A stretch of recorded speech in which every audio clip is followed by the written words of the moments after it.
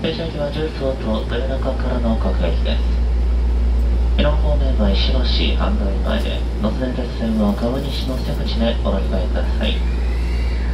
高田塚終点には21時34分に到着します。まもなく発車します。車内ではマナーを守り快適な車内環境づくりにご協力をお願いします。